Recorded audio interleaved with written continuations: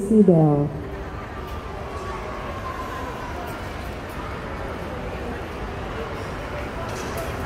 thank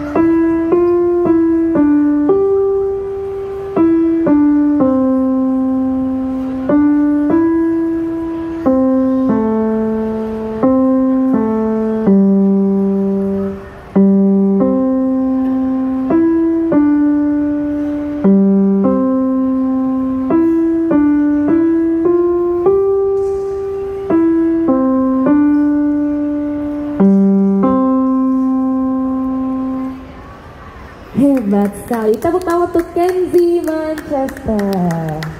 Oke, okay, dari